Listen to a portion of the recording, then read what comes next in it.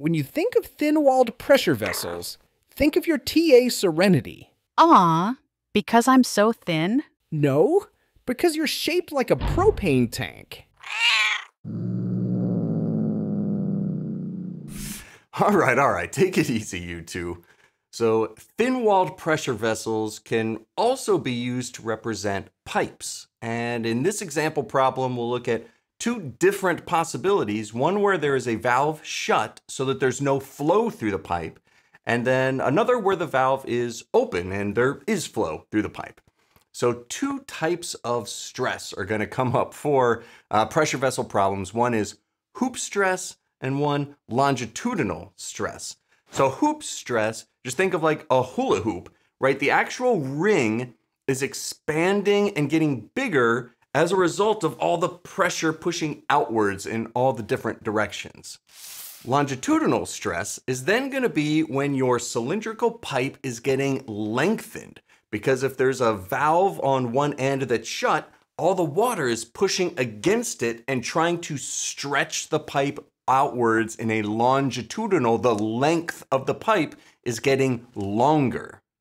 So if the valve is open and there is water flowing all the way through the pipe, then the easy game, right? The longitudinal stress will be zero because all the water is just flowing freely through the pipe. There's nothing holding it back that's causing that sort of stretching motion. So longitudinal stress is going to be zero in this case. But if the fluid is under pressure, even though it's flowing fine in one direction, it's still pushing outwards. It's still trying to make the ring bigger, still trying to make the diameter larger. And so we still have to do hoop stress.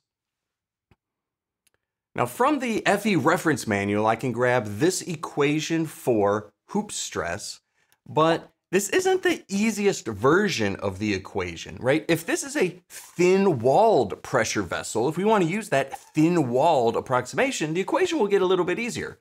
So I'm going to compare the radius to the thickness. So if the radius is large and the thickness is a thin wall, then this ratio will be very large. If it's greater than 10, that's a good assumption, that's a, a good estimate where you can use the thin-walled assumption.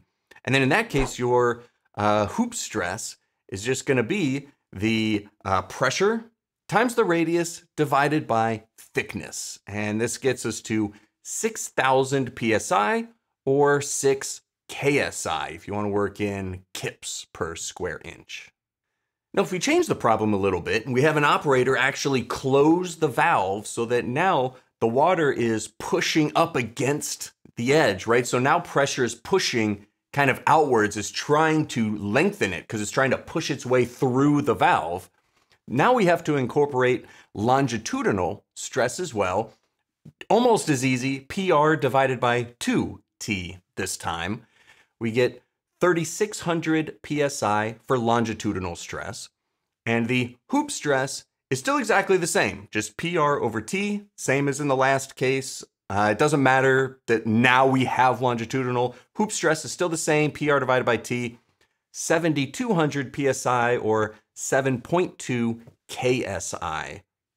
Now, if I want to draw this stress as a stress element on an actual element, like a little teeny tiny square piece, as if we actually went in with like a, a, a hacksaw or a jab saw and actually cut out a little square of this pipe, and we wanted to look at the stresses on that little square on the edge of the pipe, then we would have the 3600 KSI pointing outwards in tension because the pressure is trying to stretch it outwards in the direction, in the longitudinal direction.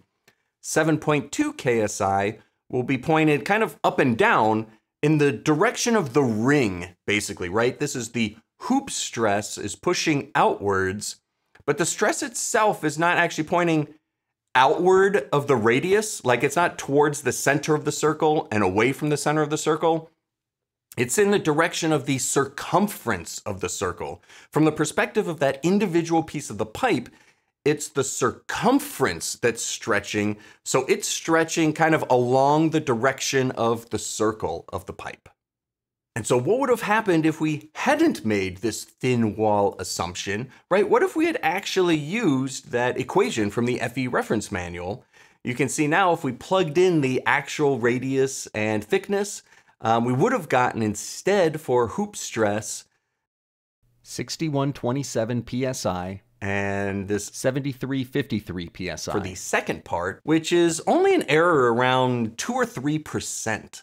When you get an error that's less than 5% or less than 2%, that's good justification that your simplification, that your assumptions were, were good ones. If this video helped you out and you want to help me out, go ahead and hit the subscribe button. I know it's a vanity metric that means nothing, but it still makes me feel better to see that number tick up a little bit extra day. So you're doing me a huge solid and have a great rest of your day, rest of your weekend, and good luck on your next test.